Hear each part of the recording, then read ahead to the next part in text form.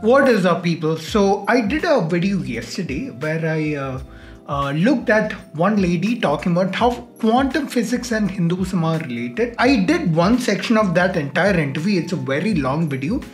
And I told you that I'll do another section if this video is received well, if it's if this video is doing well, and the video is doing well. So many of you clearly want to watch more of it.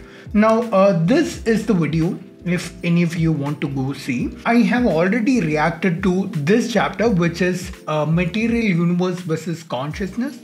And now I'm gonna react to this chapter, which is Quantum Physics versus Vedanta.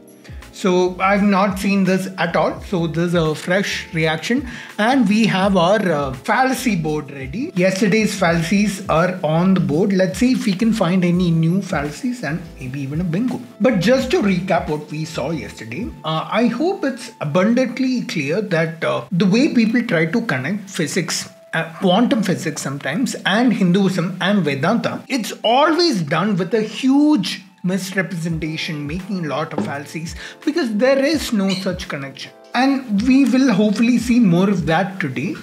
But yeah, let's watch and judge for ourselves.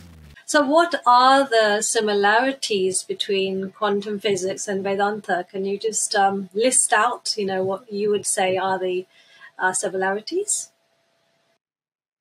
Actually, um, I see it is it is so obvious in the sense it's not like you have to take a leap of faith and arrive, do some deductions to arrive at the similarities between quantum physics and Vedanta. It is so, so obvious that if you like. Uh, yeah, I think you do have to make a huge leap in your creative imagination to arrive at these supposed similarities. Uh, you know, uh, anybody who knows Vedanta and learns quantum physics, they can make this connection. In fact, uh, many will just end up confirming their bias because whatever they learn i've already marked confirmation bias whatever they do learn in uh, quantum physics they're just gonna find oh i i know how that uh, makes sense of you uh, which part of vedanta connects to this. And they'll end up uh, making a huge leap in imagination and um, connecting the two. That's generally what i've seen. See i'm very open. I'm very open to be shown that i'm wrong but every single version of this that I've seen, people are making huge leaps of creative imagination. So, yeah, that's what I'm saying. Uh, there's no clear link between uh, quantum physics and Vedanta. Western uh, uh scientists are now talking about this uncanny correla- correlation between quantum physics and Vedanta. Now, first, let us look at what quantum physics is saying. One of the first and the most basic experiments of quantum physics is called double slit experiment. And when they did this experiment, what that was when they discovered that particles do not exist until they are observed. You're, that is wrong. Anyone who knows uh, Young's double slit in the audience, and I'm sure most of you will uh, know because they teach you that in school in physics. Young's double slit doesn't say that particles come into existence when they're observed. It says that the photon has a particle nature and a wave nature, and when you observe them, they show the particle nature, and when you don't, they show wave nature. It's not that they go out of existence when they're not observed. The act of observation, when a conscious being observes only then particles come into existence. See how she's trying to make these huge leaps just to connect. See, she's saying when a conscious being observes, when she says that she's able to connect the word conscious to consciousness and where that has a role in Vedanta, you don't need a conscious observer. All you need is photons to bounce off the particles and uh, they will provide energy, and that is the observer effect. You take a minute for this to sink in. That is, the founders of quantum physics made this statement nothing exists until it is observed. That statement was never made. You can talk to any physicist that you want, and that statement, they will never say the statement. Oh my god. See, see how she's bending what she's saying so much just to connect it with Vedanta. Can you, uh, when you listen to the statement, does it not bring to your mind all the Vedantic uh, Mahavakyas we have. When you listen to that statement, it does, but uh, that statement is a huge misrepresentation. It's a straw man, which is already marked. Straw man. Heard. What does Vedanta say? Vedanta says Consciousness is the fundamental principle of the universe.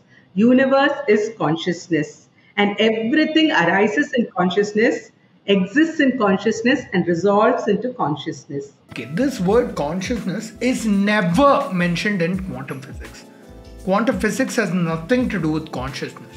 Vedanta has everything to do with consciousness. And there's also one peculiar feature of consciousness. When you say this whole universe is created in consciousness, when you think of a process of creation, we normally think of somebody like like I say, I make, make I build a building. Then first I have to plan it in my head. I have to acquire the right knowledge and actually construct it, right? So uh, I'm an active participant in the creation. That's how that's how we think of creation. But Brahman, the relationship between Brahman and universe is different. Brahman creates the universe by simply witnessing it. His role in creation of the universe is being a witness to the universe.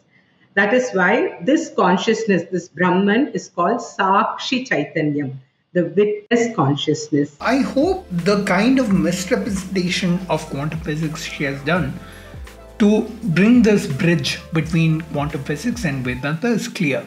And in Vedanta and in physics, the same questions have arisen. How can anything be created by simply observing it? How can you look at something and create it?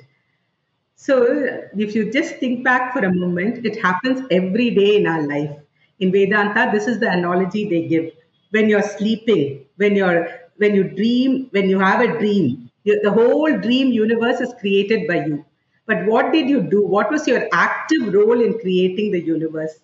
The only reason the dream exists is because you see it. Right. The mere act of witnessing the This is what quantum physics is, right? Dream brings it into existence in your mind, right? That's the relationship between Brahman and universe. The mere act of witnessing the universe brings the universe into existence.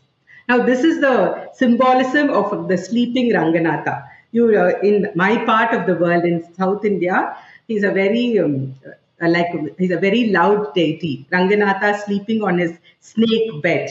He's supposed to be sleeping in Yoga Nidra. His sleep is called Yoga Nidra, and because of his sleep, the universe is created. It is believed. So it is just like Vishnu is uh, sleeping and dreaming up the universe. It is the same analogy, this, analogy of Advaita Vedanta that is represented in the sleeping Vishnu, in, in Vishnu in Ananta Shayanam. And can you see the uncanny similarity between quantum physics, which says the mere act of observation brings particles into existence, and Advaita Vedanta, which says Brahman is merely a Sakshi. The creator of the universe is the Sakshi Chaitanyam. Someone who doesn't know physics at all is like, wow, this is amazing. See, all this will appeal to only people who don't understand science, who've never seen or read a textbook of 12th standard physics in their lives, or has forgotten it. The witness consciousness who brings the universe into existence. So this is, and this is not the only resemblance, um, Payalji. What I also want to tell you is now this finding of quantum physics. Many scientists are confused by it. They don't know what to make of it.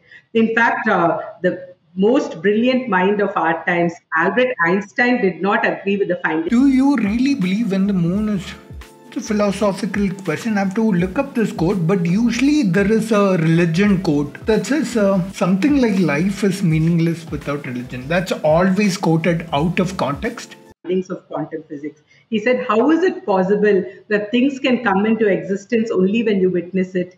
Do you mean to say that the moon does not exist when nobody is seeing? This, this was his question.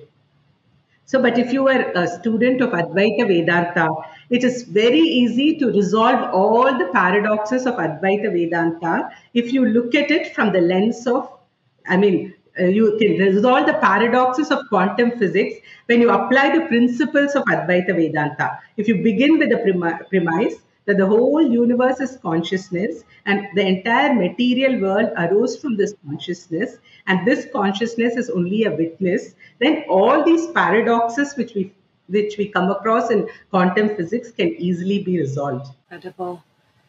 Wow. Um, do you know what? It just um, it's incredible because I'm just uh, smiling within, saying things that you inherit. Uh, I hope you know you get a general sense of this is exactly how most people who try and connect physics and Vedanta do it, and um I hope this video gives you a fair idea of how much misrepresentation they tend to do just to make that connection.